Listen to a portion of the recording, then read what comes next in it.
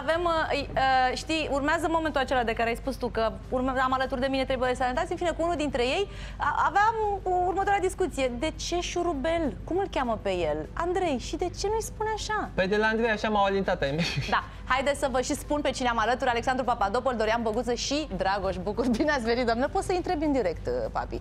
Poți să întreb de ce îi se spune șurubel? Dar de ce papi? Bună!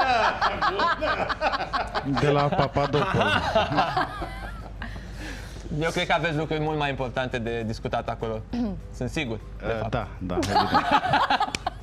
Asta, e, asta era o paranteză. Nu? Uh, dragilor, știu că ați pregătit o surpriză. Despre ce este vorba? Pentru cei care nu știu, există un ecran în fața noastră Da. pe care sunt scrise niște chestii și Nu, nu, nu e- citim numai că răspunsurile nu sunt scrise. Nu, deci Nu. nu. Ce faci? Te rog să-ți iei și microfonul. A, Adela, Așa, da. explică-le Așa că e la suntem, televizor suntem cu microfon. spontani și nu Da, este adevărat nu, da, nimic exact. din ce spune Dragoș. Avem nu. scris, avem scris eh, răspunsurile acolo? Nu, nu, nu, chiar, a, e, nu, deci în ecranul acela imaginar despre care s-a discutat, spunea chiar că am alături de mine trei bărbați talentați. Și ai zis am să zis eu sar. asta? Ai am zis zis să eu sar. asta? Nu.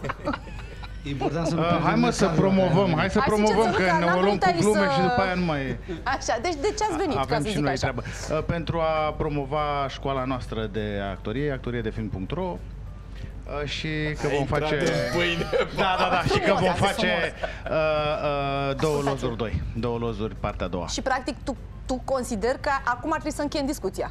Că tu ai zis tot. Uh, nu, dar am început-o. Așa. Hai să-i dăm drumul și după Bun, aceea... deci uh, se fac înscrieri din nou, da? Asta e. Ni- Nici eu nu puteam să o spun mai bine. Așa. Ce, ce calități ar trebui să dețină cei care m, uh, și-ar dori să facă școala voastră? Eu aș zice că prima, prima condiție, care nu e chiar o calitate, dar este o condiție, este să fi văzut Să aibă două bani. lozuri. Nu, nu asta. Nu, asta Nu, cu că banii, că de banii, banii, mă, cum îi faci, așa plăști, se duc. da. Important e pe ce se duc. Dar ar, fi, ar trebui să, să vadă două lozuri. Mhm. Pentru că anul acesta înscrierile se fac cu un scop foarte clar. În toamnă, prin august-septembrie, Așa am programat, uh, o să august-septembrie, filmăm da. două lozuri 2 Mhm. și, după cum s-a obișnuit lumea, filmul se va face cu cei care vor uh, urma cursurile noastre. Mhm, Cam câte personaje? Păi noi vrem să facem Vor fi. două, grup, două, cursuri, două grupe a câte 10 persoane. Nu, Nu, putem dar mai zic în mult. două lozuri cam a- ar putea juca toți sau... Asta depinde doar de regizor, de Alexandru, de, De Paul uh, Paul Negoescu. Negoescu. Voiam să zic că depinde de tine, Da. dar cred că te-am supraestimat. Ah, Hai, nu fi. Dar Paul o să scrie scenariul pe parcursul acestor cursuri, el a început să scrie la el. Mhm. Oricum ave- suntem obișnuiți, e iarăși un proiect independent cum suntem noi obișnuiți să facem. Important e că în sfârșit putem să spunem că da, facem două lozuri doi, că tot ne-au întrebat de șase ani de zile. Când, Ar când? trebui să spui care este marele tău stres. Care Problema este? lui Doru este că amânăm atât de mult continuare de la două lozuri Nu ne încât, mai recunoaște lumea, Nu o că să ne mai îmbătrânim. recunoască lumea, iar el va intra în rolul de bunic. Din el, personajul lui, va avea doi nepoței destul de mari, de vreo Timpul nu 18 iartă ani. pe nimeni, Absolut, băieți. nu. Asta e. Tocmai Da, vorbeam. pentru școala Las de că și tu ai actorie există albit. o limită de vârstă? Și în sus și în jos, ca să zic așa? Păi dacă jucăm noi, limita de vârstă e 50 de ani, nu? E Urcă. cerul. Este, da, the sky is the limit, da, da. Ținând cont după, ultimul, ex- după ultima experiență tot așa cu școala, proiectul lui Cristi Pui, am avut de la limita de jos, mă rog, 18 ani, până la limita de sus, nu mai știu, 65, cred că 70. Nu, ar a trebui fost. să stabilim un 99-100, limita de sus, iar limita de jos, da, 18 ani, ca să nu avem probleme cu hârtii de la părinți, chestii de genul ăsta. Cu scene ce pot fi făcute sau nu? Exact, exact. Oricum, toate datele le găsiți pe actoriedefilm.ro. E trecut, e o singură pagină, e simplu, când sunt cursurile, ce înseamnă cursurile astea, termenii. Cât costă? Și Asta cât e, costă.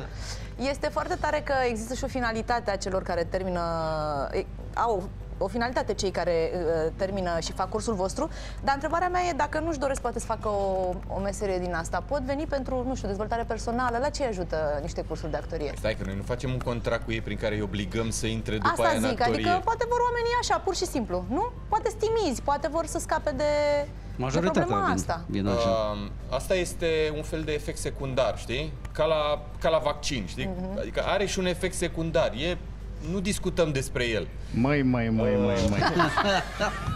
partea principală este, este te Dar ce, învață n-am, să... n-am înțeles ce ai vrut te- să spui. cu- Glumesc. Nu, în general voiam, era o chestie în gen. Important este că dacă vii la noi la școală, înveți actorie de film. Carne mănânci? Da. Că nu știu, da. Așa. Bun, deci Mai e, e o un chestie. efect secundar, asta spuneai, Mulți, Nu un mulți, defect, un nu? Un efect. efect, un efect secundar. mulți își doresc să joace în filme și tu Normal. ai ocazia asta acum, chiar ai ocazia. Că mulți își doresc. Eu acum ce să ne Uh, ascundem? Participați toți în același timp la cursuri sau aveți, uh, nu știu, ore separate? În ce- primele cursuri le facem împreună, după care ne împărțim pe săptămână. Pe Cum am săptămâni făcut-o de sau 11 pe, ani. nu știu, aveți fiecare, eu prefer să vorbesc despre, sau cum sunteți împărțiți ca profesori? Nu, e o programă bine stabilită pe care am dezvoltat-o în cei 11 ani de când e școala. Pe bune? Da. El știe doar orarul, Noi atât, ne adică nu nu, e... glumă, glumă, dar noi ne-am uh, cam luat așa fiecare cât un, uh, cât un departament, cât un domeniu și nu o să-l uh, facem public. Uh, o să vadă lumea când vine la curs. Am înțeles.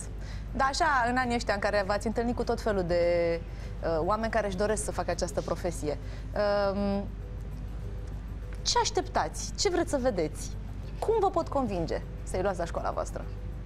Ce înseamnă pentru voi un actor talentat?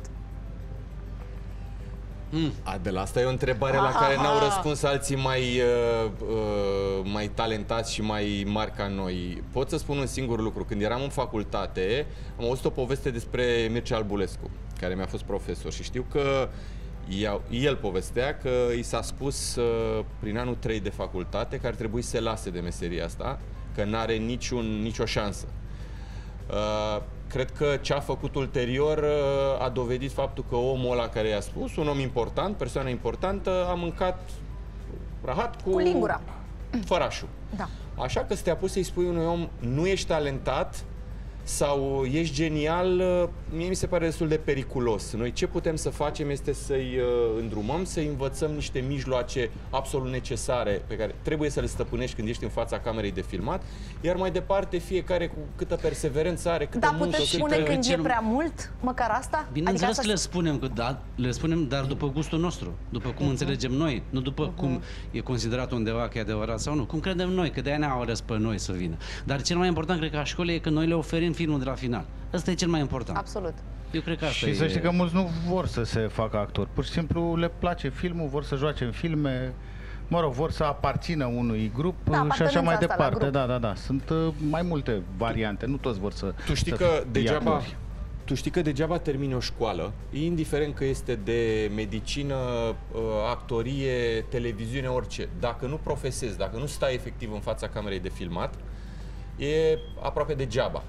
Uh, ai nevoie de chestia asta, de prezența în fața camerei de filmat și asta este un mare atu al, uh, al școlii noastre. La cel mai tare se vede de la primul curs și la ultimul, pentru că ei au stat în fața camerei tot timpul. Tot, tu poți să-i spui verși uscate, el stând în fața camerei, el descoperă niște chestii. Cum să se relaxeze în fața ei? Pentru că asta e cel mai mare problemă, să te relaxezi în fața camerei. Că în momentul când te-ai relaxat, poți deja să duci gândul tău. Dar pe de altă parte, noi în pandemie nu am făcut uh, cursurile astea deloc, tocmai pentru că noi credem în uh, practica efectivă din fața camerei, um, dobândirea mijloacelor astea specifice de actorie de film și de-aia n-am încercat să facem online sau prin Zoom și așa mai departe, pentru că nu se poate. Pur și simplu, uh, oamenii care vor veni acum sunt uh, promoția de după pandemie, A să, fost să, o- să zicem așa. A fost totuși uh, o perioadă în care am uh, stabilit un curs intensiv de o lună, a fost ținut de Cristi Puiu. Uh, cursul ăla s-a terminat cu un film, De aș cinci spune ore. eu, deosebit. Da. Uh, iar acum intrăm pe partea asta la altă, hai să zic mai comercială. Paul Negoescu e alături de noi, cred că din, de la prima...